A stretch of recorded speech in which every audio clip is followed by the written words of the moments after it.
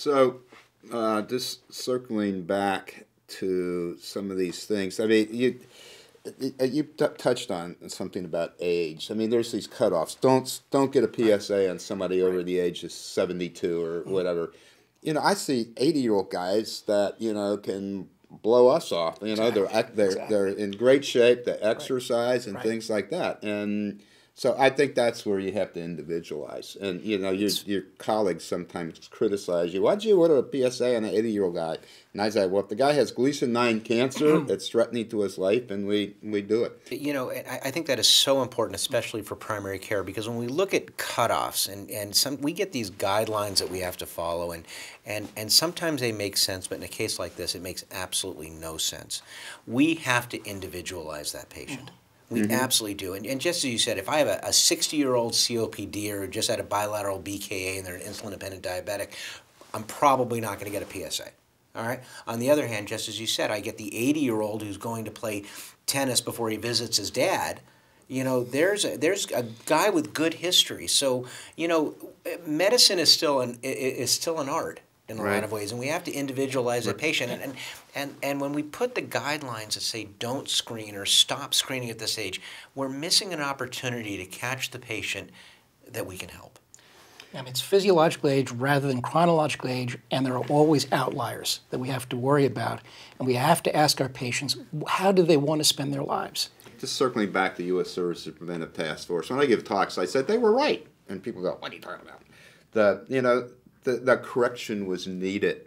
We were overdiagnosing and overtreating Gleason sixes and that, and and you know the way forward with family practice is with this PSA cutoff of 1.5 is you do the next generation of tests, which are you know urine test and blood test. There's 4K and there's Select MDX to find aggressive cancers, and that's where you want to go. If we go forward uh, and talk a little bit about uh, about the the shared care, Dan, you said something about the guy in the bicycle lean, and then he didn't right. have it.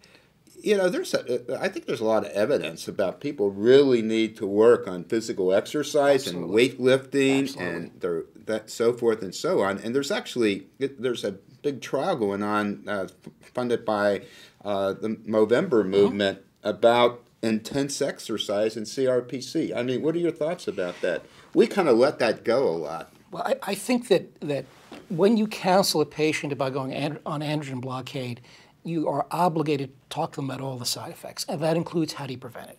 So clearly, uh, light weights, uh, uh, uh running, uh, trying to burn calories, those are important overall uh, to maintaining your weight. Because remember, for a man to lose a pound, who has a normal hormonal axis, they have to burn 3,500 calories. It's 4,500 for a man on hormone therapy.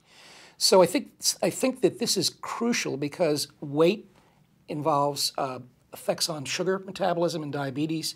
That, of course, has an effect on the heart. That has an effect on blood pressure. So this all is tied together in that situation. Yeah, and, I, and I, again, circling back to what this is all about, shared care. Um, you know, the urologist isn't always on top of that. You're not always on That's top right. of that. You're not always on top of what we're doing. Uh, but all these pieces need to fit together.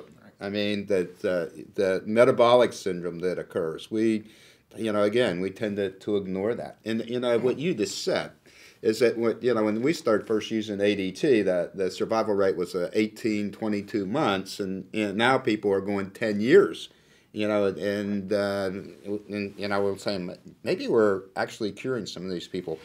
You know, what you just said about the exercise is is so incredibly important and and actually it's I love to hear that.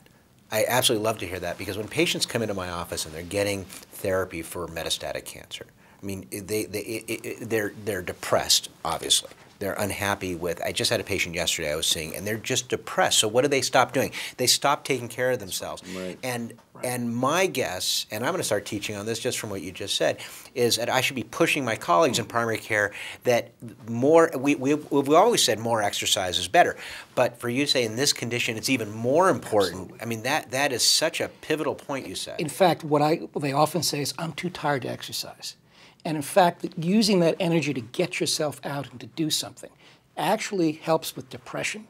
It helps with weight control And it just as long as they get over the hump to start doing something, I think that they, they really do benefit. So where I can help you is I'm the cheerleader. Right. So you're you're putting them on the therapy. You need them to exercise. You say go and see Matt, and they come in the office, and I'm like, what are we going to do to get you out there? Well, I don't know what to do, man.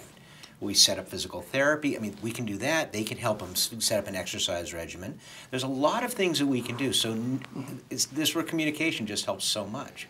Yeah, uh, you know, there's really ample evidence that people that that have advanced cancer, and not just prostate cancer, that um, exercise, stay in shape, diet, not a crazy diet. I mean, we all see people come in and say they're they're taking vitamin E and selenium and drinking soy and and pomegranate juice and everything else like that. I mean, you know, what's heart healthy is usually prostate cancer healthy. You don't have to go overboard.